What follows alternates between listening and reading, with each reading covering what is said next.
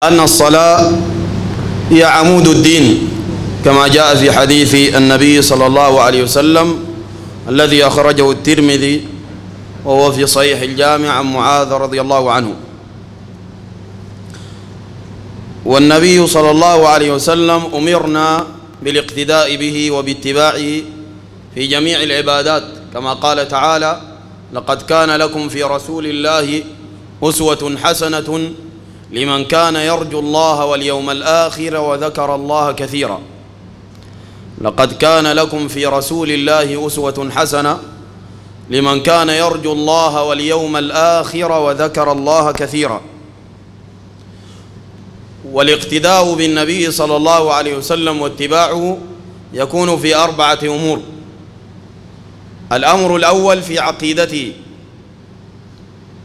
فنعتقد ما اعتقده النبي صلى الله عليه وسلم من الأخبار الصادقة التي جاءت من عند الله سبحانه وتعالى ومن الأحكام العادلة نعتقد أنها حق وأنها عدل وأن الواجب اتباع ما جاءت به. وكذلك نعتقد العقيدة الصحيحة في الله سبحانه وتعالى وفي ملائكته وكتبه ورسله إلى آخره. ثانيا اتباع النبي صلى الله عليه وسلم في عبادته. فنعبد الله كما عبد رسول الله صلى الله عليه وسلم ربه. لأنه قال صلوا كما رأيتموني أصلي. ولأنه صلى الله عليه وسلم قال من أحدث في أمرنا هذا ما ليس منه فهو رد. ولأنه قال عليكم بسنتي وسنة الخلفاء الراشدين المهديين من بعدي إلى آخره. ثالثا نتبع النبي صلى الله عليه وسلم في أخلاقه. فقد كان صلى الله عليه وسلم خلقه القرآن. فما من خلق حميد جاء في كتاب الله إلا والنبي صلى الله عليه وسلم يعمل به ويتصف به. فهو حليم صبور يعفو وهو كريم إلى آخر الأخلاق الطيبة. رابعا نتبع النبي صلى الله عليه وسلم في معاملاته. أن هناك معاملات كمعاملة الرجل مع امرأته ومعاملة الرجل مع جاره ومعاملة الرجل مع أرحامه والمعاملات التي تكون في الأسواق في البيع والشراء والمعاملات التي تترتب على الطلاق وعلى غير ذلك من أبواب المعاملات. الذي يكون التي تكون كذلك المعاملات التي تكون بين الحاكم والمحكوم. فإذا اتبعنا النبي صلى الله عليه وسلم في هذه الأمور الأربعة في عقيدته وعبادته وأخلاقه ومعاملاته كنا من الفائزين في الدنيا والآخرة. أنه جاء في الحديث الذي أخرجه البخاري ومسلم في صحيحيهما عن أبي هريرة رضي الله عنه عن النبي صلى الله عليه وسلم أنه قال كل أمتي يدخلون الجنة إلا من أبى. قيل ومن يأبى؟ قال من أطاعني دخل الجنة ومن عصاني فقد أبى. وهذا الباب في صفة صلاة النبي صلى الله عليه وسلم لا بد من تعلم الأحكام والأشياء التي فعلها النبي صلى الله عليه وسلم من أجل القيام بها. قال عن أبي هريرة رضي الله عنه قال كان رسول الله صلى الله عليه وسلم إذا كبر في الصلاة سكت هنيهة هنيهة وفي لفظ هنية ولفظ الهمزة خطأ هنيئة خطأ. كما ينطق بعض الناس. وإنما سكت هنيهة أو هنيئة هني هنية هنية. قبل أن يقرأ فقلت يا رسول الله بأبي أنت وأمي أرأيت سكوتك بين التكبير والقراءة؟ ما تقول. قال أقول اللهم باعد بيني وبين خطاياي كما باعدت بين المشرق والمغرب. اللهم نقني من خطاياي كما ينقى الثوب الأبيض من الدنس. اللهم اغسلني من خطاياي بالماء والثلج والبرد. أخرجه البخاري ومسلم وأبو داود والنسائي وابن ماجه. هذا الحديث فيه سنة من سنن الصلاة وبعضهم ذهب إلى وجوبها وهي دعاء الاستفتاح. اختلف العلماء في دعاء الاستفتاح هل هو للوجوب أم للاستحباب؟ وكذلك في الدعاء الذي يكون بعد التشهد وهو الاستعاذة من أربعة أشياء. اللهم إني أعوذ بك من عذاب جهنم ومن عذاب القبر ومن فتنة المحيا والممات ومن شر فتنة المسيح الدجال. فاختلف العلماء في هذين الذكرين الذكرين هل هما للوجوب أم للاستحباب؟ فذهب الشافعي رحمه الله وبعض العلماء إلى أنه إلى أنهما للوجوب. وذهب غيرهم إلى أن العبد يقول هذين الذكرين لكن ليس للوجوب. قال عن أبي هريرة رضي الله عنه قال كان رسول الله صلى الله عليه وسلم إذا كبر في الصلاة أي كبر تكبيرة الإحرام وهي أول تكبيرة في الصلاة. وهي ركن. سكت هنيهة أو هنية. يعني سكت وقتا قليلا قبل أن يقرأ قبل أن يبدأ في القراءة الجهرية. فقلت يا رسول الله هذا هو أبو هريرة رضي الله عنه قال فقلت يا رسول الله بأبي أنت وأمي. فهم يحبون النبي صلى الله عليه وسلم أكثر من محبتهم لآبائهم وأمهاتهم وكذلك كل مسلم. الواجب عليه أن يقدم محبة النبي صلى الله عليه وسلم. قال أرأيت سكوتك بين التكبير والقراءة؟ ما تقول؟ ما تقول؟ وهذا فيه حرص الصحابة على تعلم الدين. وأنهم يسألون من أجل العلم. لذلك هذا الفرق بيننا وبينهم كما قال بعض العلماء أننا نتعلم من أجل العلم وهم يتعلمون من أجل العمل.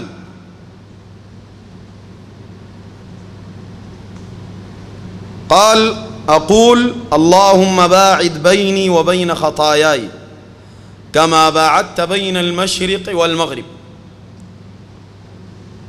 ولا شك أن البعد بين المشرق والمغرب عظيم. ودعوته صلى الله عليه وسلم للمباعد بينه وبين خطايا خطاياه وقد غفر له ما تقدم من ذنبه وما تأخر. هذا يدل على خطورة هذه الخطايا وعلى خطورة المعاصي. حتى أن الله تعالى قال في دعوة الملائكة وهم يدعون للمؤمنين في سورة غافر وقهم السيئات. ومن تقي السيئات يومئذ فقد رحمته.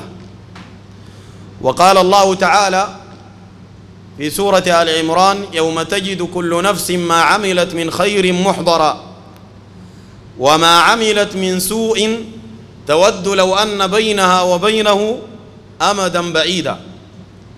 ويحذركم الله نفسه والله رؤوف بالعباد. ذلك الواجب على العبد أن يبتعد من المعاصي من فعلها ومن قولها. وإذا وقع في الذنب يتوب ويرجع إلى الله لينجيه الله منها يوم القيامة. ثم قال اللهم نقني من خطاياي كما ينقى الثوب الأبيض من الدنس. الثوب إن كان أسود اللون أو أحمر اللون فإنه يظهر فيه الدنس العظيم ويخفى فيه الدنس اليسير. لكن إن كان أبيض اللون فإنه يظهر فيه أدنى دنس. قال اللهم نقني من خطاياي كما ينقى الثوب الأبيض من الدنس. وهذا لكمال الطهر ولكمال النقاء وشدة بيان ذلك. اللهم اغسلني من خطاياي بالماء والثلج والبرد. بالماء والثلج والبرد. لذلك المؤمن يدعو لأخيه المؤمن في صلاة الجنازة بأن يباعد الله بينه وبين خطاياه وأن ينقيه الله تعالى من الخطايا ومن الذنوب ومن الدنس كما ينقى الثوب الأبيض من الدنس. فيدعو بما يقارب هذا الدعاء وهذا الدعاء يكون بعد تكبيرة الإحرام يكبر العبد ويقول هذا الدعاء اللهم باعد بيني وبين خطاياي كما باعدت بين المشرق والمغرب. اللهم نقني من خطاياي كما ينقى الثوب الأبيض من الدنس. اللهم اغسلني من خطاياي بالماء والثلج والبرد. ثم يستعيذ بالله من الشيطان الرجيم. ثم يبسمل. وكل هذا سرا. يحرك الشفتين. يحرك الشفتين. لا يكتفي في السر بمجرد القلب. لأنه جاء في بعض الروايات أن الصحابة انتبهوا لهذا الأمر بسبب رؤيتهم للحية النبي صلى الله عليه وسلم تتحرك من الخلف. أي أنهم من الخلف رأون طرفا من لحيته تتحرك. فتحرك شفتيك في الذكر. ثم تبسمل ثم بعد ذلك تجهر بالحمد. الحمد لله رب العالمين. عن عائشة رضي الله عنها قالت كان رسول الله صلى الله عليه وسلم يستفتح الصلاة بالتكبير. والقراءة بالحمد بالحمد لله رب العالمين. التكبير في أول الصلاة الجمهور على أنه يقول الله أكبر كما هو معلوم.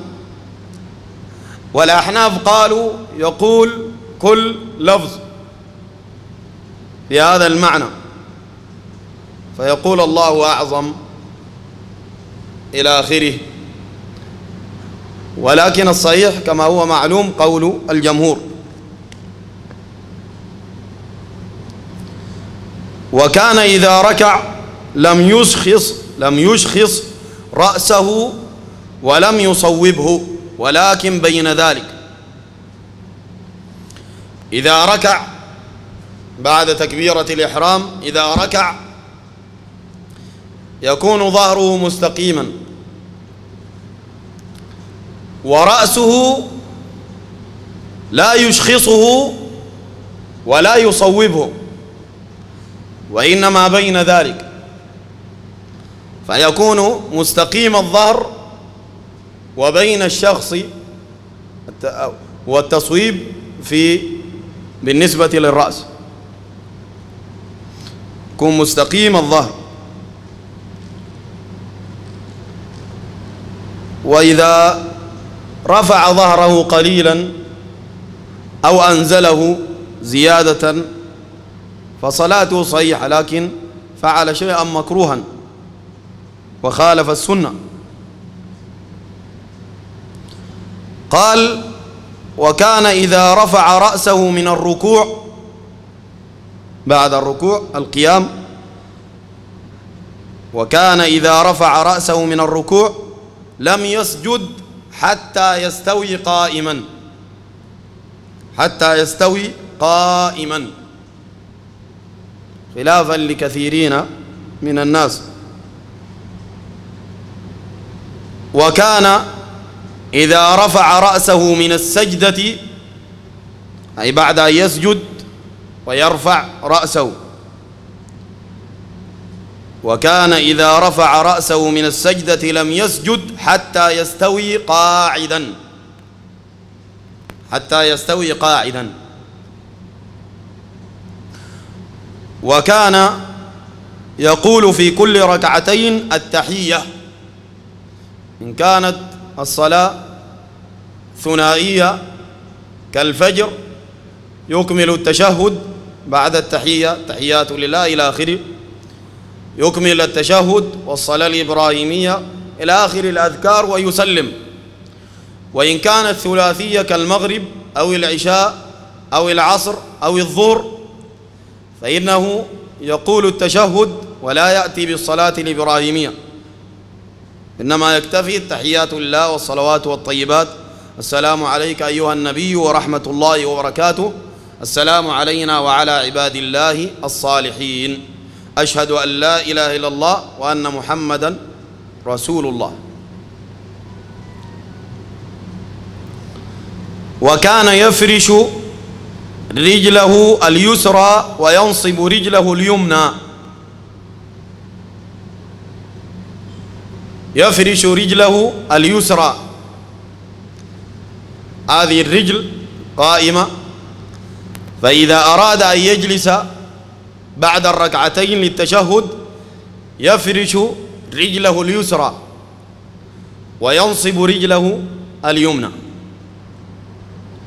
يفرش رجله اليسرى وينصب رجله اليمنى. وهذا في كل صلاة ثنائية. في التشهد الأخير. وإن كانت ثلاثية أو رباعية في التشهد الأول يفترش هكذا. وفي التشهد الأخير يتورك يتورك بمعنى أن ينصب رجله اليمنى ويجلس على إليته اليسرى ويدخل رجله اليسرى إلى ما يقاصد أو يوازي نصف ساقه وهذا ما يسمى بالتورك بالتورك. يعني في الصلاة الثنائية في التشهد افتراش. افتراش دي واحدة واقفة قائمة والثانية مبسوطة.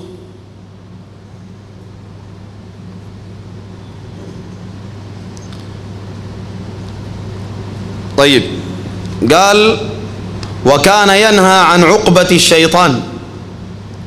وكان ينهى عن عقبة الشيطان وينهى أن يفترش الرجل ذراعيه افتراش السبع وكان يختم الصلاة بالتسليم. هذا الحديث مع أنه أخرجه الإمام مسلم بهذا اللفظ وأبو داود والإمام أحمد. قال الإمام أحمد محمد شاكر وهذا الحديث له علة وهي أنه من رواية أبي الجوزاء عن عائشة. قال ابن عبد البر لم يسمع منها وحديثه عنها مرسل. أما قوله وكان ينهى عن انتهى كلام الإمام أحمد محمد شاكر. قوله وكان ينهى عن عقبة الشيطان وينهى أن يفترش الرجل ذراعيه افتراش السبع. عقبة الشيطان أن يفرش رجليه أن يفرش رجليه ويجلس بإليتيه أو بمؤخره بمؤخرته على الأرض. هذه عقبة الشيطان. أن يجلس بمؤخرته على الأرض ويفترش رجليه افتراشا كلتا رجليه. وإذا نصب الرجلين وفرق بينهما وجلس في الوسط هذه جلسة السبع. وإذا نصب رجليه وجلس عليهما هذه تسمى الإقعاء وهي موضع نقاش بين العلماء وذهب ابن عباس إلى أنها من السنة رضي الله عنهما. فهذه أنواع خمسة من أنواع الجلوس الافتراش والتورك والإقعاء وجلسة عقبة الشيطان وجلسة افتراش السبع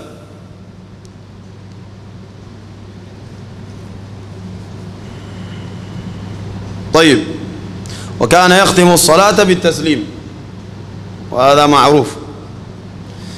عن عبد الله بن عمر رضي الله عنهما أن النبي صلى الله عليه وسلم كان يرفع يديه حذو منكبيه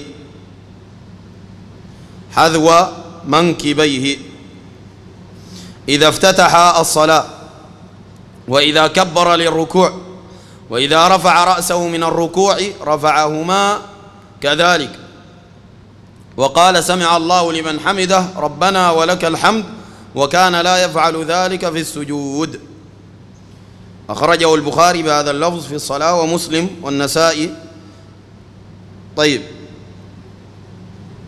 قال البخاري في جزء رفع اليدين قال روى الرفع تسعة عشر نفسا من الصحابة. تسعة صحابي.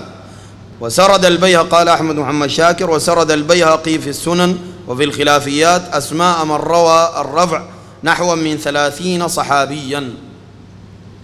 يعني شنو الكلام ده؟ أي أن النبي صلى الله عليه وسلم يرفع يديه. في هذا الحديث وفي بعض الأحاديث الأخرى في أربعة مواضع. فيرفع يديه عند التكبيرة الأولى وهي تكبيرة الإحرام. ويحاذي بيديه منكبيه.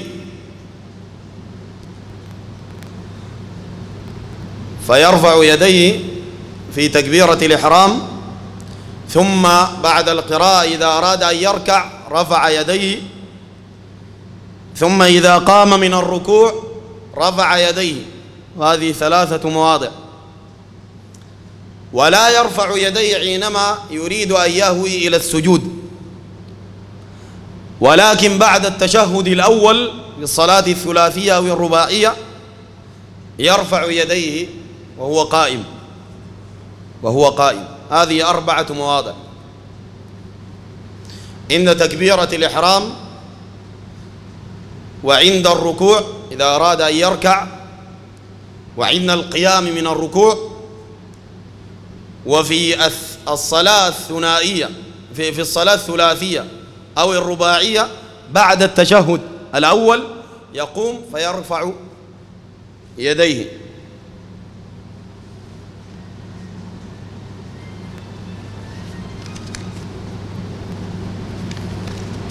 طيب.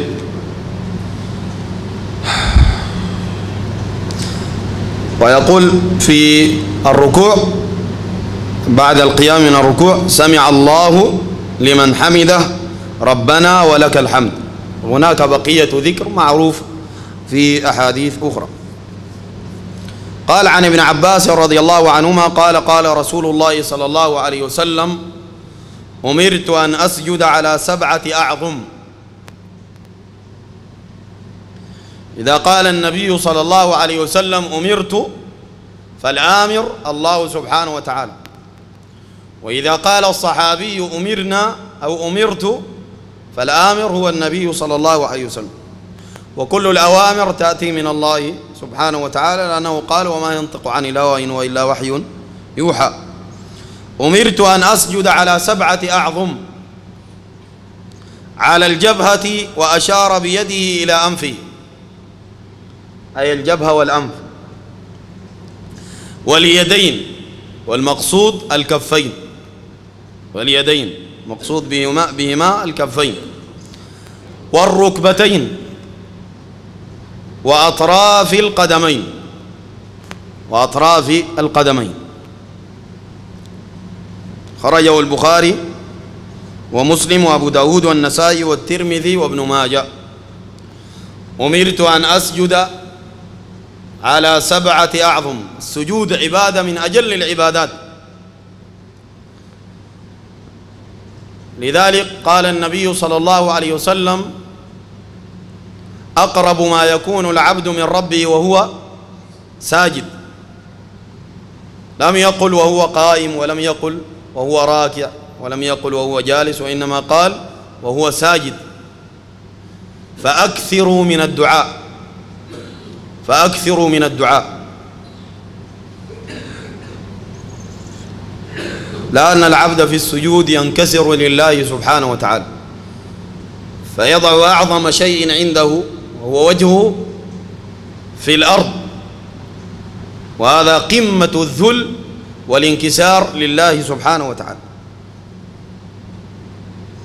قال أمرت أن أسجد على سبعة أعظم فلا يجوز لأحد أن يسجد على أقل من هذه السبعة أعظم إلا لعذر. الجبهة وأشار بيده إلى أنفه أي أن هذا واحد. واليدين. والركبتين وأطراف القدمين. وكثير من الناس يرفع طرفي قدميه في السجود. إما سهوا أو جهلا. وهذا على خطر لأن السجود ركن. ولأن النبي صلى الله عليه وسلم قال في هذا الركن أمرت أن أسجد على سبعة أعظم فلا تجوز مخالفته. بل يخشى أن تبطل صلاة العبد. لذلك يتابع هذه المواضع السبعة في سجوده. الجبهة والأنف واحد واليدين ثلاثة. والركبتين خمسة وأطراف القدمين سبعة. ويطيل السجود يطيل في السجود ويدعو الله سبحانه وتعالى. فيقول الذكر المعروف سبحان ربي الأعلى ثلاثا وإذا زاد قالها ستا إلى آخره. وبعد ذلك يحمد الله سبحانه وتعالى ويثني عليه ويصلي على النبي صلى الله عليه وسلم ويدعو بما شاء من خيري الدنيا والآخرة ثم يختم بالصلاة على النبي صلى الله عليه وسلم ثم يرفع من سجوده. قال عن أبي هريرة رضي الله عنه قال كان رسول الله صلى الله عليه وسلم إذا قام إلى الصلاة يكبر حين يقوم ثم يكبر حين يركع ثم يقول سمع الله لمن حمده حين يرفع صلبه من الركعة. ثم يقول وهو قائم ربنا ولك الحمد. ثم يكبر حين يهوي يعني ساجدا. ثم يكبر حين يرفع رأسه. ثم يكبر حين يسجد. ثم يكبر حين يرفع رأسه أي من السجود. ثم يفعل ذلك في صلاته كلها حتى يقضيها ويكبر حين يقوم من الثنتين بعد الجلوس. خرجه البخاري ومسلم وأبو داود والنسائي. هذا المقصود التكبير باللسان وليس رفع شنو؟ اليدين. فهذه لها مواضع ذكرت. والتكبير الأول فرض بل ركن. هو تكبيرة الإحرام. وبقية التكبيرات تسمى تكبيرات النقل فتنتقل من ركن إلى ركن آخر. وهي موضع خلاف بين العلماء ذهب بعضهم إلى أنها سنة. وهذا جمهور العلماء. وذهب الإمام أحمد وداود الظاهري إلى أن هذه التكبيرات واجبة. مستدلين بحديث النبي صلى الله عليه وسلم صلوا كما رأيتموني. أصلي. قال عن مطرف بن عبد الله قال صليت أنا وعمران بن حسين خلف علي بن أبي طالب. فكان إذا سجد كبر وإذا رفع رأسه كبر وإذا نهض من الركعتين كبر. فلما قضى الصلاة أخذ بيدي عمران بن حسين وهو صحابي. فقال قد ذكرني هذا صلاة محمد صلى الله عليه وسلم. أو قال صلى بنا صلاة محمد صلى الله عليه وسلم. أخرجه البخاري ومسلم. فيها أن التابعين يتعلمون الصلاة من الصحابة كما أن الصحابة يتعلمون الصلاة من النبي صلى الله عليه وسلم وأن الصحابة يقتدون به صلى الله عليه وسلم في حال حياته وبعد وفاته. صلى الله عليه وسلم ورضي الله عنه. عن البراء بن عازب رضي الله عنهما قال رمقت الصلاة مع محمد صلى الله عليه وسلم فوجدت قيامه فركعته فاعتداله بعد ركوعه فسجدته فجلسته بين السجدتين فسجدته فجلسته ما بين التسليم والانصراف قريبا من السواء. أي أن صلاته متناسقة. فإذا كبر فأطال القيام أطال الركوع. ثم إذا قام من الركوع أطال القيام بعد القيام من الركوع. ثم إذا سجد أطال السجود. ثم إذا قام من السجود فجلس أطال الجلوس وهكذا. فصلاته على السواء. قال وفي رواية للبخاري ما خلا القيام والقعود قريبا من السواء. ما خلا. أي أنه استثنى القيام والقعود والمقصود بالقعود كما قال البسام هو قعود التشهد. فالقيام أطول. وقعود التشهد أطول من القعود الذي بين السجدتين. عن ثابت البناني عن أنس بن مالك رضي الله عنه قال إني لا آلو أن أصلي بكم كما كان رسول الله صلى الله عليه وسلم يصلي بنا. قال ثابت فكان أنس فكان أنس يصنع شيئا لا أراكم تصنعونه. يصنع شيئا لا أراكم تصنعونه. ما هو هذا الشيء؟ كان إذا رفع رأسه من الركوع إذا رفع رأسه بعد أن يقول سمع الله لمن حمد ربنا لك الحمد. انتصب قائما حتى يقول القائل قد نسي. وإذا رفع رأسه من السجدة مكث حتى يقول القائل قد نسي. رواه البخاري ومسلم. فيه أن الإنسان إذا قام من الركوع بعد أن يقول سمع الله لمن حمد ربنا لك الحمد يطيل في القيام. ثم يهوي ساجدا. وبعد أن يسجد فيقوم يجلس بين السجدتين. فيقول رب اغفر لي رب اغفر لي رب اغفر لي ويطيل الجلسة أو الجلسة. ثم يسجد. عن أنس بن مالك رضي الله عنه قال ما صليت خلف إمام قط أخف صلاة ولا أتم صلاة من رسول الله صلى الله عليه وسلم. خرجه البخاري وفي رواية البخاري في آخره وإن كان ليسمع بكاء الصبي فيخفف مخافة أن تفتن أمه. الصبي الذي تصلي أمه مع المسلمين في مكان النساء. وأخرجه أيضا مسلم والترمذي وابن ماجه والإمام أحمد. فجمع في هذا الحديث بين تخفيف الصلاة وبين إتمامها. فالذي يخفف الصلاة ولا يتم الصلاة هذا خالف السنة. فيجمع بين الأمرين بين تخفيف الصلاة وبين إتمامها. إذا صلى بالناس أما إن صلى لوحده يطيل الصلاة في النافلة. إلا في بعض النوافل إلا في بعض النوافل كنافلة الفجر يخفف فيها. قال عن أبي قلابة عبد الله بن زيد الجرمي البصري قال جاءنا مالك بن الحويرث في مسجدنا هذا مالك بن الحويرث صحابي رضي الله عنه.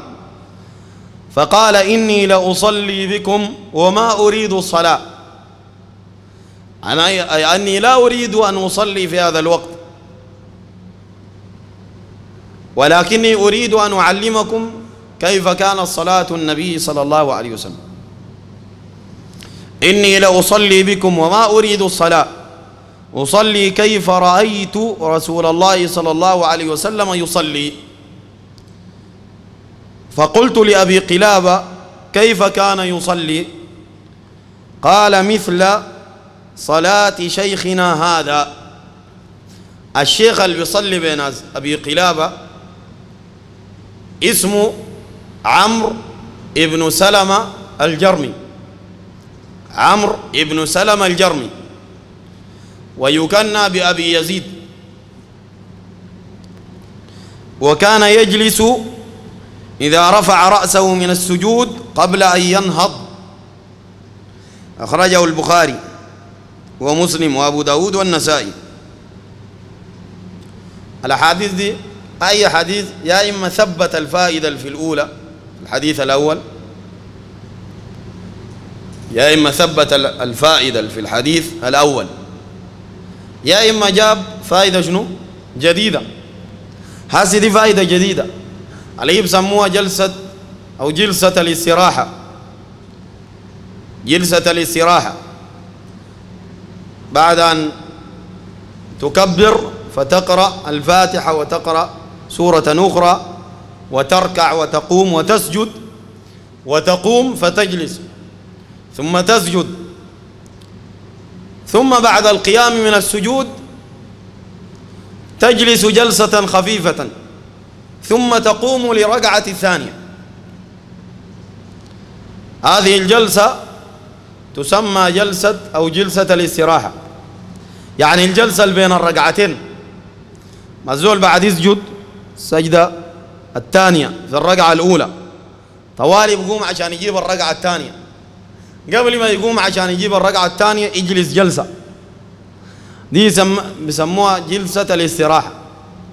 دي هل جلس الرجل ده وهو عمرو بن سلمة عمرو بن سلمة الجرمي والتي جلسها أو أشار إلى الجلوس أنه جلسها مالك بن الحويرث رضي الله عنه. الجلسة دي برضو موضع خلاف بين العلماء. بعضهم ذهب إلى أنها مستحبة. مستحبة. ومن هؤلاء الإمام الشافعي رحمه الله. وإحدى الروايات عن الإمام أحمد. وبعضهم ذهب إلى أنها ليست مستحبة. وإنما جائزة. ومنهم الإمام مالك وأبو حنيفة ورواية أخرى عن الإمام أحمد.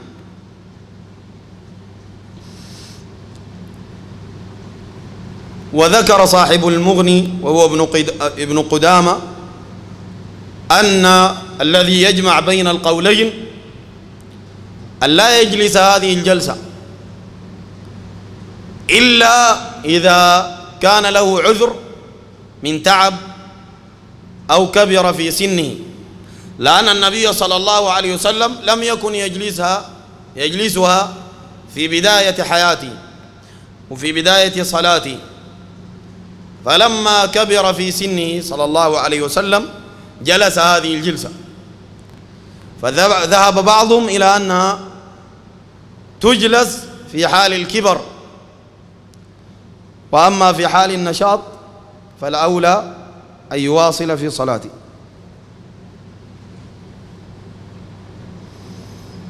قال عن عبد الله ابن مالك ابن بحينة هنا قال بحينة هي أمه وأبوه مالك. قال هذا محمد حامد الفقي. رضي الله عنه عن عبد الله بن مالك بن بحينة رضي الله عنه أن النبي صلى الله عليه وسلم كان إذا صلى فرج بين يديه حتى يبدو بياض إبطيه. أخرجه البخاري ومسلم والنسائي. كان إذا صلى فرج بين يديه حتى يبدو بياض إبطيه. هذا في السجود. قال البسام هذا للرجال خاصة بخلاف النساء. فإنهن أمرن بالتصون الصيانة وكمال الستر. والرجل يفعل هذا في صلاته إن كان إماما أو إن كان منفردا. أما إن كان في صلاة جماعة ويؤذي المسلمين فلا يفعل هذا. وإنما يفرق بين يديه والأرض وبين يديه وفخذيه من غير أن يؤذي المسلمين. فإن استطاع أن يفعل هذا من غير أذية لمن, جوا لمن بجواره فعل السنة فإن لم يستطع تركها. عن أبي مسلمة سعيد بن يزيد قال سألت أنس بن مالك رضي الله عنه أكان النبي صلى الله عليه وسلم يصلي في نعليه؟ أكان النبي صلى الله عليه وسلم يصلي في نعليه؟ قال نعم. قال نعم. أخرجه البخاري ومسلم والنسائي والترمذي. دي كلها أحكام جديدة يا جماعة. لو تصلي في النعلين إن إذا كانتا طاهرتين.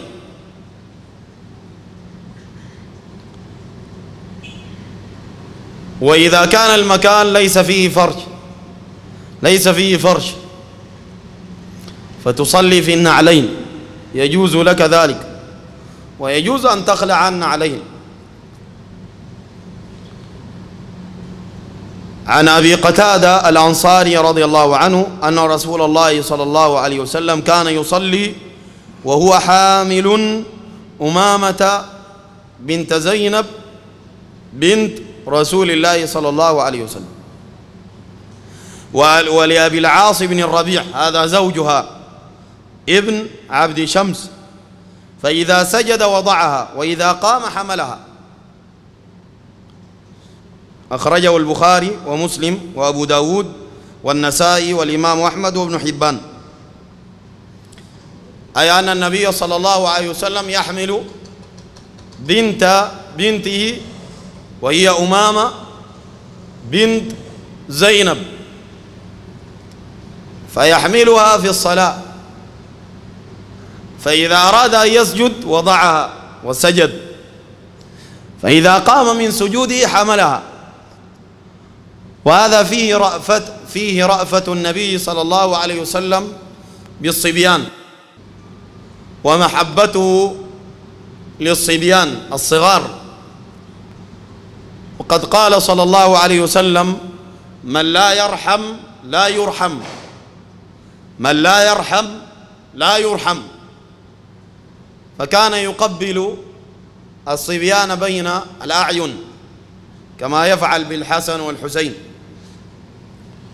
وفيه أنه تجوز الحركة في الصلاة بقدر الحاجة بقدر الحاجة. أما بغير حاجة فلا يتحرك في صلاته وإنما يخشع. آخر حديث ختم به هذا الباب الأول في كيفية صلاة النبي صلى الله عليه وسلم قال عن أنس بن مالك رضي الله عنه عن النبي صلى الله عليه وسلم قال اعتدلوا في السجود اعتدلوا في السجود ولا يبسط أحدكم ذراعيه بساط الكلب. خرجه البخاري ومسلم وأبو داود والنسائي والترمذي وابن ماجه والإمام أحمد. ولا يبسط أحدكم ذراعيه انبساط الكلب. لأن بعض الناس في السجود يبسط يديه حتى أن حتى أن المرفقين يلتصقان بالأرض بالأرض. وكذلك بقية الذراعين. والواجب رفع المرفقين من الأرض ووضع الكفين. فلا ينبسط انبساط الكلب انبساط الكلب. هذا فيه التحذير من أفعال الحيوانات كما قال البسام في شرحه لعمدة الأحكام. فذكر في الأول السبع في الجلسة جلسة التشهد افتراش السبع. وذكر في السجود انبساط الكلب. فيتنزه العبد عن هذه الأفعال ويعتدل في سجوده فيسجد على سبعة أعظم ويسجد وهو مطمئن في سجوده. السجود الصحيح. قال باب وجود باب وجوب الطمأنينة في الركوع والسجود. الطمأنينة بضم الطاء. قال ابن باز فهي السكون في الصلاة والخشوع فيها والاعتدال. فهي السكون في الصلاة والخشوع فيها والاعتدال إلى آخر كلامه فيطمئن في صلاته يسكن لا يتحرك ويخشع ويعتدل في صلاته. هذه الطمأنينة.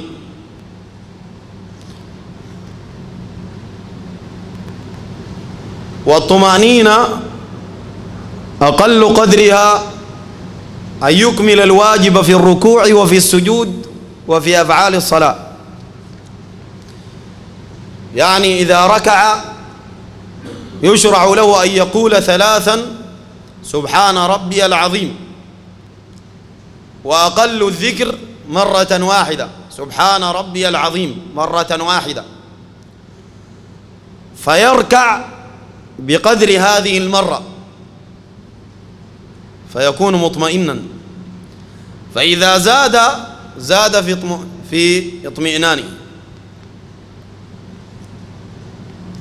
أما إن ركع وقام من ركوعه بقدر يقل عن أن يقول سبحان ربي العظيم فصلاته باطلة. فيطمئن في ركوعه سبحان ربي العظيم. ويقول هذه هذا الذكر ثلاثا. ولكن أقل أقل عدد فيه مرة واحدة. ثم يقوم وكذلك في السجود. سبحان ربي الأعلى. قال باب وجوب وجوب. الطمأنينة في الركوع والسجود. عن أبي هريرة ذكر حديثا واحدا. وهو حديث الرجل الذي يقال أساء الصلاة. يسمى حديث المسيء.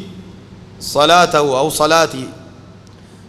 وإن كان هذه التسمية بعضهم لهم له فيها نظر.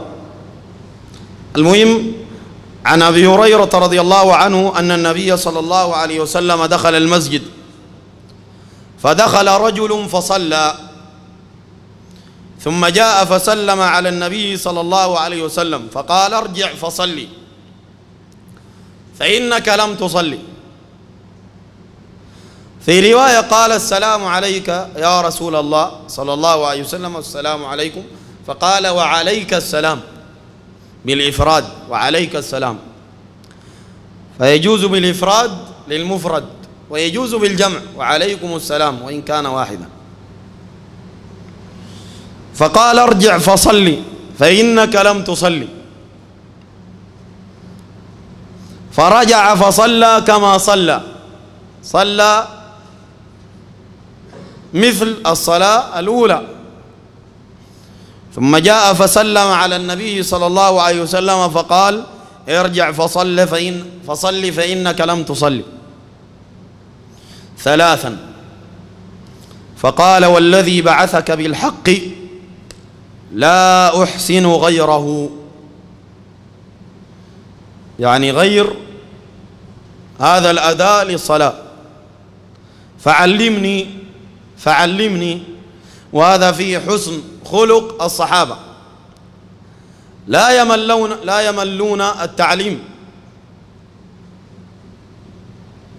ولا يصيب أحدهم الحمق.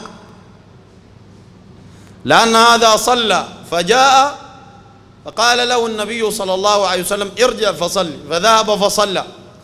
فجاء قال ارجع فصلي. فلم يتحرج من هذا الكلام ولم يغضب وإنما قال والذي بعثك بالحق لا أحسن غيره غير هذا الأداء للصلاة فعلمني. يريد التعليم. فقال إذا قمت إلى الصلاة فكبر فكبر. ثم اقرأ ما تيسر معك من القرآن.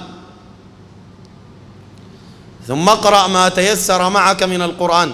وهذا عام يخصصه حديث عبادة بن الصامت وحديث أبي هريرة رضي الله عنه في الفاتحة. ثم اقرأ ما تيسر معك من القرآن. أي الفاتحة وسورة أخرى. ثم اركع حتى تطمئن راكعا.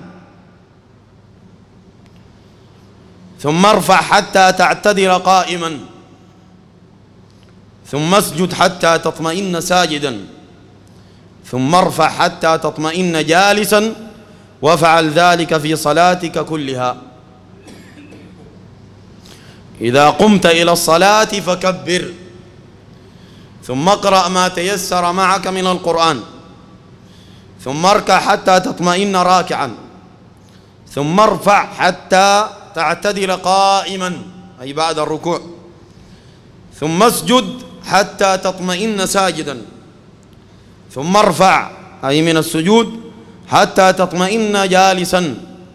وافعل ذلك في صلاتك كلها. خرجه البخاري ومسلم وأبو داود والنسائي والترمذي. قال أحمد محمد شاكر والمسيء هو خلاد ابن رافع. اسمه خلاد ابن رافع. أو خلاد ابن رافع. كما بينه ابن أبي شيبة. الجمهور الذين ذهبوا إلى أن التكبير ليس بواجب تكبيرات النقل استدلوا بهذا الحديث لأنه لم يذكر فيه تكبيرات النقل. والذين ذهبوا إلى وجوب تكبيرات النقل كالإمام أحمد أخذ بحديث عائشة رضي الله عنها كذلك داود الظاهري. وهذا الحديث ليس ليس فيه دليل على أنه لا يجب التكبير بحجة أنه لم تذكر التكبيرات صراحة أو تصريحا في هذا الحديث لأن هذا الحديث لم يجمع جميع جزئيات الصلاة وإنما بين الطمأنينة في الركوع وفي القيام وفي السجود وفي الجلسة بين السجدتين وفي القيام من الركوع إلى آخره. ولا يبين قراءة القرآن في الصلاة ولم يذكر التشهد الأول وهو واجب. ولم يذكر التشهد الأخير وهو ركن. ولم يذكر التسليمتين والتسليم ركن.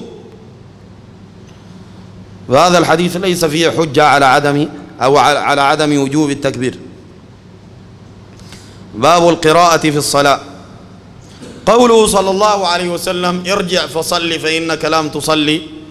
فيها أن العبادة مهما كثرت إن لم تكن صحيحة فلا عبرة بها. لا عبرة.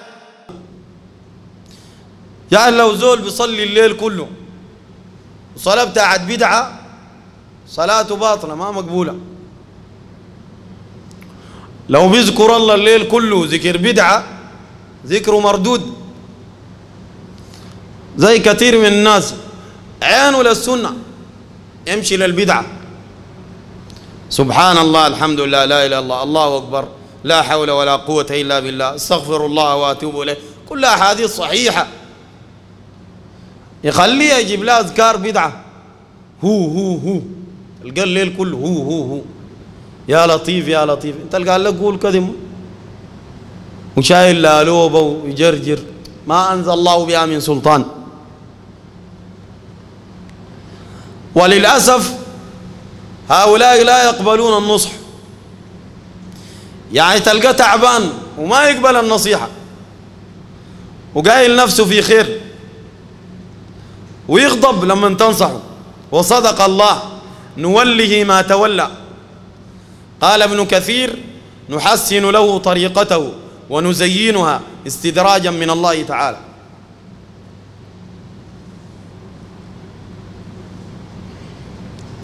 لذلك قال النبي صلى الله عليه وسلم إن الله حجب التوبة عن صاحب البدعة حتى ينزع أي من بدعته وكما قال صلى الله عليه وسلم. وقال من عمل عملا ليس عليه أمرنا فهو رد رد مردود عليه. فالعبادة إن لم تكن صحيحة لا عبرة بها مهما كثرت. لذلك قال تعالى الذي خلق الموت والحياة ليبلوكم أيكم أحسن عملا ولم يقل أكثر عملا. وإنما قال أحسن عملا. فالعمل الحسن وإن كان يسيرا أفضل وأنفع للعبد من العمل الكثير الذي لم يكن موافقا لما جاء به النبي صلى الله عليه وسلم. باب القراءة في الصلاة. باب القراءة في الصلاة. قراءة القرآن. عن عبادة بن الصامت رضي الله عنه أن رسول الله صلى الله عليه وسلم قال لا صلاة لمن لم يقرأ بفاتحة الكتاب أخرجه البخاري ومسلم وأبو داود والترمذي وابن ماجه وأحمد والنسائي.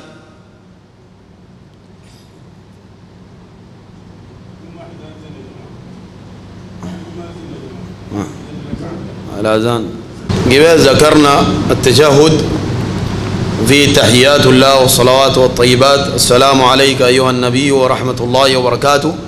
السلام علينا وعلى عباد الله الصالحين. أشهد أن لا إله إلا الله وأشهد أن محمدا عبده ورسوله. عبده ورسوله. هذا التشهد له صيغ كثيرة. هذه صيغة من صيغها. وإلا فهناك صيغ أخرى التحيات لله والصلوات لله. والطيبات لله وهكذا. هناك صيغ أخرى. طيب باب القراءة في الصلاة. عن عبادة بن الصامت رضي الله عنه أن رسول الله صلى الله عليه وسلم قال لا صلاة لمن لم يقرأ بفاتحة الكتاب. وفاتحة الكتاب معروفة هي سورة الفاتحة ويبدأها بالبسملة. ويقول البسملة سرا كما سيأتي إن شاء الله تعالى. ثم يقرأ جهرا الحمد لله رب العالمين إلى آخره. وقد جاء في حديث أبي هريرة رضي الله عنه في صحيح مسلم وفي تفسير ابن كثير لسورة الفاتحة. في مقدمات تفسيره لسورة الفاتحة أن ابن ك... أن أبا هريرة رضي الله عنه قال اقرأوا بفاتحة الكتاب. فقالوا يا أبا هريرة وإن كان أحدنا خلف إمامه قال وإن كان خلف إمامه لأن النبي صلى الله عليه وسلم يقول من لم يقرأ بفاتحة الكتاب فصلاته خداج. خداج يعني غير تمام. ثم قال أبو هريرة رضي الله عنه قال رسول الله صلى الله عليه وسلم قال الله قسمت الصلاة بيني وبين عبدي نصفين. فإذا قال العبد الحمد لله رب العالمين قال الله حمدني عبدي. فإذا قال الرحمن الرحيم قال أثنى علي عبدي. فإذا قال مالك يوم الدين قال مجدني عبدي. فإذا قال إياك نعبد وإياك نستعين قال هذا بيني وبين عبدي ولعبدي ما سأل. فإذا قال اهدنا الصراط المستقيم قال هذا لعبدي ولعبدي ما سأل أو كما قال إلى آخره. شكيذ الزو سورة صلاة سورة الفاتحة ما بقرأ سريع. قرأ بتأني لأنه أي كلمة أنت رب العزة والجلال يرد عليك. ما تقرا الحمد لله رب العالمين الرحمن الرحيم مالك يوم انت ماشي طوالي اقرأ بتأني واستشعر هذه الكلمات. الحمد لله رب العالمين. فهو رب العالمين جميعا. عالمين. عالم الإنس وعالم الجن وعالم الملائكة والعوالم. قال ابن كثير رحمه الله نقلا عن بعضهم. قال العالم كل ما سوى الله. وسمي عالما لأنه فيه علامة على وجود الله ووحدانيته. وقال الزجاج رب العالمين في الدنيا والآخرة. وقال بعضهم في تفسير ابن كثير العالمين ألف عالم. أربعمائة في البر. وستمائة في البحر.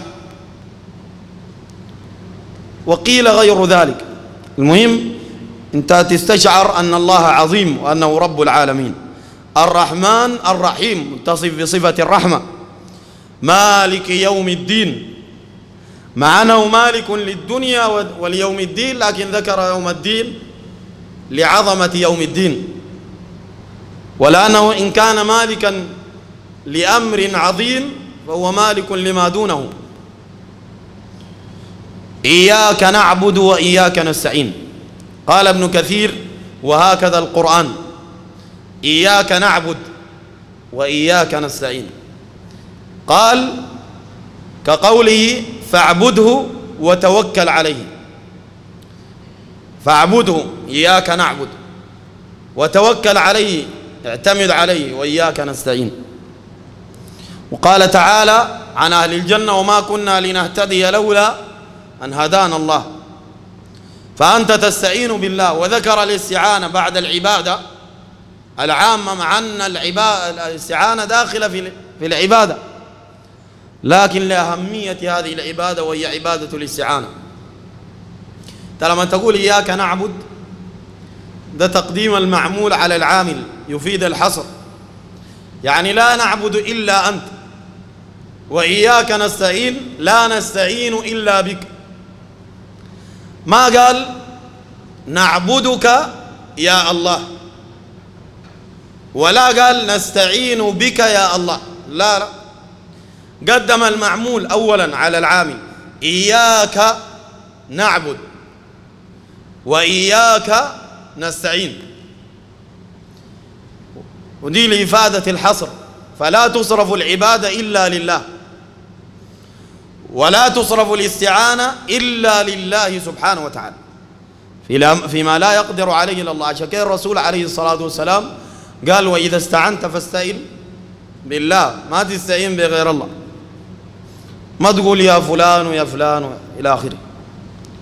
والعبادة كلها تصرفها لله. النذر عبادة. ما تنذر لغير الله. والذبح عبادة ما تذبح لغير الله. والكلام ده موجود في بلدنا.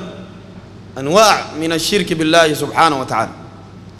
ذبح لغير الله ونذر لغير الله وعبادات. امشوا لزول ميت. امشوا القبة. زول مات. أقول لا صاحب القبة. هاي نحن جيناك. وانت عارف في نفوسنا شنو؟ موجودة والله صورة وصوت في اليوتيوب. زول كبير شيبة واقف جنب قبر. بيقول لي وتحسونا نحن جيناك. وقاصدينك. وانت عارف في نفوسنا شنو؟ آتي كل ذي سؤل سؤله. معقول يا اخو زول فارق الدنيا؟ وده بيعلم في قلبك. الزول الميت بيعلم في القلب. شكي رب العزة والجلال قال وتوكل على الحي الذي لا يموت. ويقول ويمشوا للميت يقول له كان ولدي نجح بضبح لك وكان عم وكان حصل كذي بسوي لك ويحصل الله يقدر بدل يشكر الله يجي للميت يذبح له. والميت بياكل يا ناس. ولا تتقرب له كيف؟ بالعبادة. والله قال في القرآن فصل لربك وانحر. وقال تعالى قل إن صلاتي ونسكي ومحياي ومماتي لله رب العالمين لا شريك له. وبذلك أمرت وأنا والمسلمين والرسول عليه الصلاة والسلام قال في صحيح مسلم لعن الله من ذبح لغير الله. ده شغل بتاع لعن.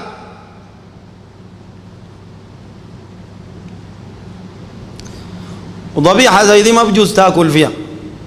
ذبحها على ميت أي دي قربت لغير الله سبحانه وتعالى. ما بجوز تاكل ولا لقمة. اللي الأصل الحي بينتفع منها للميت بينتفع منها بس تكون كده. واحد في البلد ذبحوا الخروف ومعلقوا في القبة. بعدين في واحد أخونا صاحبنا اسمه محمد علي مالك له داود ماشي عليه ينصحه سل السكين. بعد ذبح الخروف سل السكين قال له هوي عارفين أي شيء ما تجينا قال. يعني ما دار نصيحة ذاته.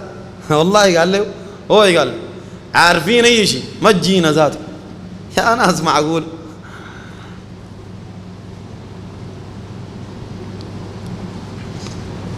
قال عن أبي قتادة الأنصاري فالإنسان لما نقول الأشياء دي في الصلاة الآيات دي بعد ده بقى في منزلة يتقبل الله منه الدعاء.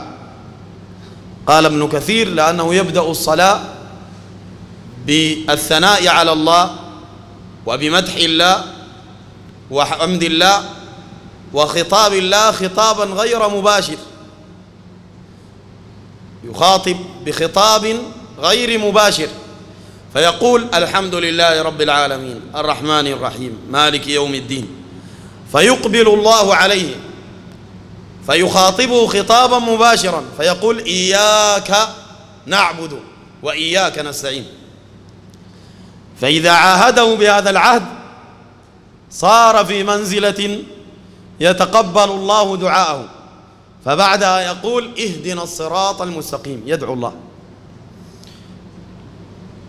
قال عن أبي قتادة الأنصاري رضي الله عنه قال كان رسول الله صلى الله عليه وسلم يقرأ في الركعتين الأوليين من صلاة الظهر بفاتحة الكتاب وسورتين. يطول الأولى ويقصر في الثانية. يسمع الآية أحيانا. صلاة سرا. لكن مرات يسمع آية. باقي القراءة تكون جهرا. هي سرا. يسمع الآية أحيانا يسمعها لمن خلفه. وكان يقرأ في العصر بفاتحة الكتاب وسورتين. يطول في الأولى ويقصر في الثانية. يطول في الركعة الأولى ويقصر في الركعة الثانية. وفي الركعتين الأخريين بأم الكتاب الفاتحة فقط. وكان يطول في الركعة الأولى من صلاة الصبح ويقصر في الثانية.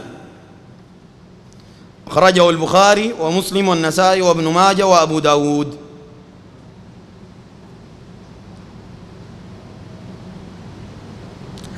زاد أبو داود قال وابن ماجه وأبو داود وزاد قال أحمد محمد شاكر وزاد قال فظننا أنه يريد بذلك أن يدرك الناس الرقعة الأولى. شكي الإمام لو راكع وسمع ناس وراه جايين داخلين بيجوز له يطول شنو؟ الركوع عشان الناس تدرك الصلاة. عن جبير ابن مطعم رضي الله عنه قال سمعت النبي صلى الله عليه وسلم يقرأ في المغرب بالطور. يقرأ سورة الطور في صلاة المغرب. خرجه البخاري ومسلم وأبو داود والنسائي وابن ماجه. والإمام أحمد. هما أمر بالتخفيف. عشان الناس ما تحصر التخفيف في تخفيف معين. تخفيف ده بقدر الإمام الفقيه. لكن ما عنده قدر معين. إلا تقريبا. يعني قدروا تقديرا وتقريبا يعني. عن البراء بن عازب رضي الله عنهما أن النبي صلى الله عليه وسلم كان في سفر كان في سفر فصلى العشاء الآخرة في صلاة العشاء فقرأ, فقرأ في إحدى الركعتين بالتين والتين والزيتون. سورة التين. قال البراء فما سمعت أحدا أحسن صوتا أو قراءة منه. أي أنه يرتل ويحسن القراءة ويحسن صوته. خرجه البخاري ومسلم وأبو داود والنسائي والترمذي وابن ماجه. عن عائشة رضي الله عنها أن رسول الله صلى الله عليه وسلم بعث رجلا على سرية. قيل هو كلثوم ابن زهدم وقيل كرز ابن زهدم. فكان يقرأ لأصحابه في صلاتهم. فيختم بقل هو الله أحد. يقرأ الفاتحة وسورة. بعدها يقرأ قل هو الله أحد. فلما رجعوا ذكروا ذلك لرسول الله صلى الله عليه وسلم. فقال سلوه لأي شيء صنع ذلك. وفي أن العالم لا يتسرع في الكلام على فلان وفلان حتى يتثبت. ويتبين له الأمر. ولا يتسرع في في إطلاق الأحكام حتى يتثبت ويتبين له الأمر. سألوه لأي شيء صنع ذلك. فسألوه فقال لأنها صفة الرحمن عز وجل فأنا أحب أن أقرأ بها. قل واحد قل هو الله أحد صفة الرحمن. الله الصمد صمد. تصمد إليه الخلائق تحتاج إليه وهو غني عنها. لم يلد ولم يولد فهو كامل سبحانه وتعالى. ولم يكن له كفوا أحد لم يكن له كفوا أحد. لا مثيل له ولا ند له. قال فقال لأنها لأنها صفة الرحمن عز وجل. فأنا أحب أن أقرأ بها. فقال رسول الله صلى الله عليه وسلم أخبروه أن الله تعالى يحبه. يحبه. أخرجه البخاري ومسلم والنسائي. في هذا الحديث فوائد ومنها آه، نختم. أي بس فاضل الحديث أخير نختم به إن شاء الله. لكن من فوائده أن هناك أسبابا إذا قام بها العبد صار محبوبا عند الله سبحانه وتعالى ومنها تدبر القرآن كما قال ابن القيم رحمه الله وذكر هذا الحديث. من تدبر القرآن وتحب القرآن رب العزة والجلال يحبك سبحانه وتعالى. وتحب صفات صفات الله سبحانه وتعالى.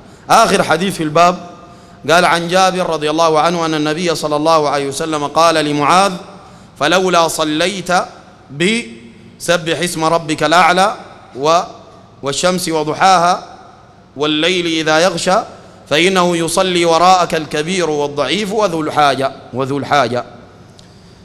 أخرجه البخاري ومسلم والنسائي وابن ماجه. يعني أن النبي صلى الله عليه وسلم أرشد معاذا لما شكى بعض الناس أنه أطال بهم الصلاة أن معاذا أطال بهم الصلاة رضي الله عنه. فشكوا ذلك للنبي صلى الله عليه وسلم فأرشده بأن يصلي بهذه السور ليخفف على الناس. سبح اسم ربك الأعلى والشمس وضحاها والليل إذا يغشى.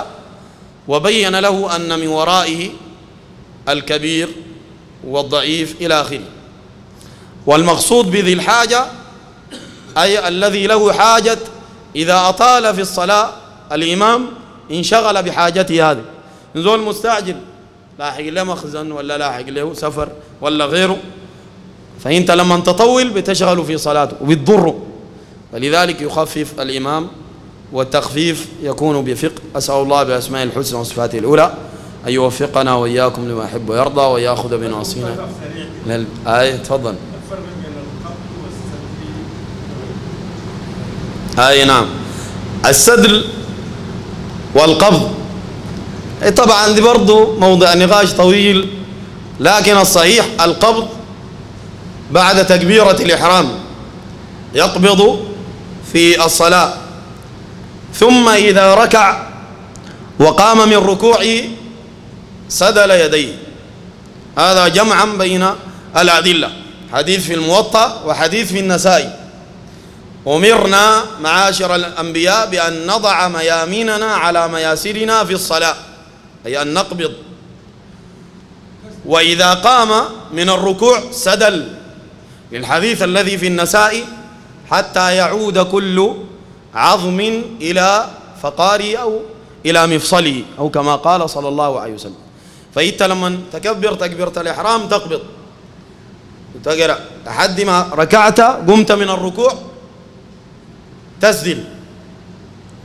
وبعضهم ذهب إلى القبض بعد الركوع منهم ابن حجر العسقلاني وغيره لكن أنت شنو؟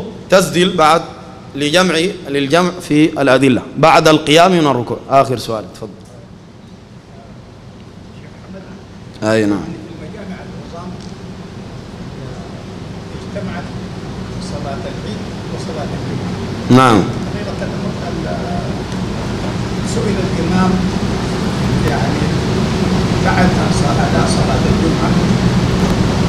يعني في في بعض الناس عندهم فكرة أنه إذا اجتمع اجتمع صلاة العيد وصلاة الجمعة. نعم. يعني كأنه صلاة الجمعة ترفع أي نعم. الإمام أورد حديث حقيقة الحديث هو المفاد بتاعه ما ما بيعني. آه، هي المسألة دي إنه إذا اجتمع العيد والجمعة في يوم واحد الكلام ده فيه حديث معاوية رضي الله عنه. وهو أنه يصير تصير صلاة الجمعة بالتخيير. إن شاء الناس صلوها وإن شاءوا ذهبوا إلى بيوتهم فصلوا الظهر في بيوتهم. يعني أنت بعد تصلي صلاة العيد بعد صلاة الجمعة شنو؟ إذا اجتمعت الجمعة والعيد فدي هنا بتكون ما بتكون واجبة. وإنما تصير للجواز. إذا جاء المسجد فصلى مع المسلمين الجمعة صلى وإن صلى في بيته فهو بالتخيير. ودي الآن فتوى اللجنة الدائمة للإفتاء الموجودة الآن المعاصرة في بلاد الحرمين وفيها قريب 18 عالم بيقولوا بالقول ده وفيها حديث معاوية رضي الله عنه. جزاكم الله خيرا صلى الله وسلم على نبينا.